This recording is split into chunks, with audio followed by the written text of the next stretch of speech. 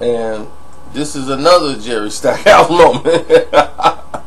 Y'all remember him fighting Allen Iverson in practice?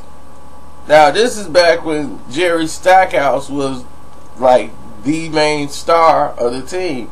They were the the backcourt that was supposed to be the best, that was supposed to grow the foundation of the Philadelphia 76ers. But as Allen Iverson came into the league his rookie year, this was not going to last long. Because Jerry Stackhouse, like I said in the previous video, Jerry Stackhouse is not made that kind of way. You can't disrespect him and think it's going to fly. See, what happened was this. A lot of people don't even know what happened in the practice. And this happened before practice. A lot of people don't know. It was just a continue a continuation from what had happened during a, a shoot around in a game. I think they played against Boston.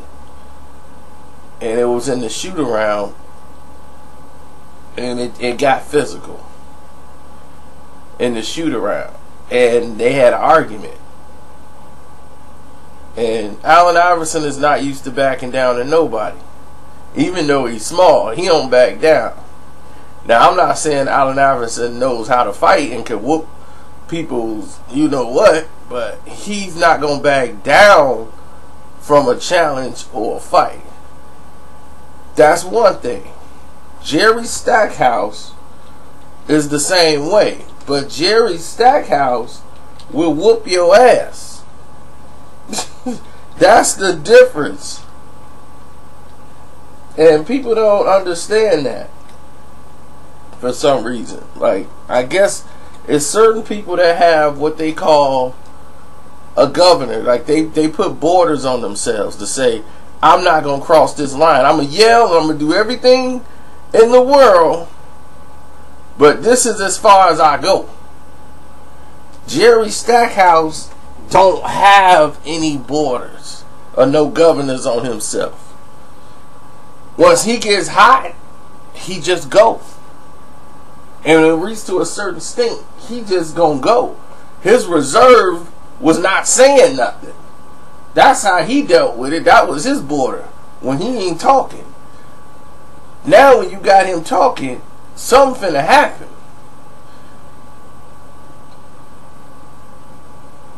Now, Jerry Stackhouse was about to fight him after the shoot around.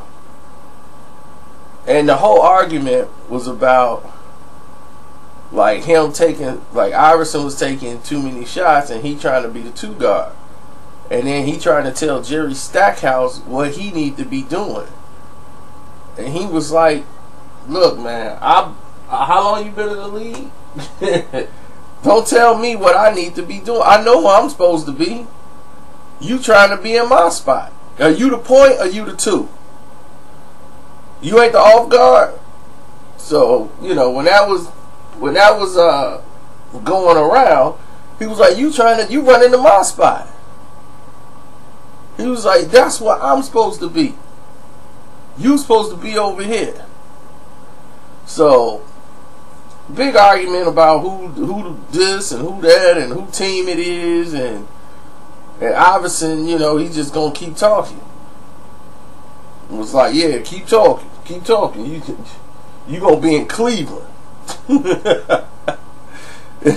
keep talking, keep talking. Keep talking. Right. Who you think they who you think the, they want? They brought me in here because they don't want you. You getting out of here. So all this talk is going on in the locker room and Stack was quiet. And then Stack said something to hurt Allen Iverson's feelings. And and was like, do it. Do it. And he told him, he's like, if you come over here and you put your hands on me, it's gonna be the last time you put your hands on somebody. So I'm just letting you know. So Allen Iverson is going, throwing a scene. What? Is that a threat? You threatening me? Whoa! And so Jerry Stackhouse hadn't said another word. He's not moving. He's standing there calm, and everybody in between him. Come on, come on, no, no, come on, man. And uh, Scott Williams grabbing him, man. We brothers, man. We brothers. We brothers. And then the press heard about it. So the press is all waiting outside before they all can come in the uh, locker room. And they asked people about it. Like, what happened? I heard you guys about the fight. Hey, man, nothing, nothing. Because they could hear the screaming on the outside. And Jerry Stackhouse is like, well, it was a story of a man who didn't want to fight versus a man who don't know how to fight. That's all I'm gonna say. And that was his only quote on the on the whole comment on the entire fight, or the whole thing that just transpired. But it was clear that th- these two wasn't gonna coexist. So somebody had to be moved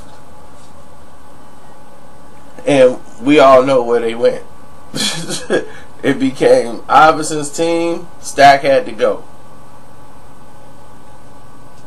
That was all to it.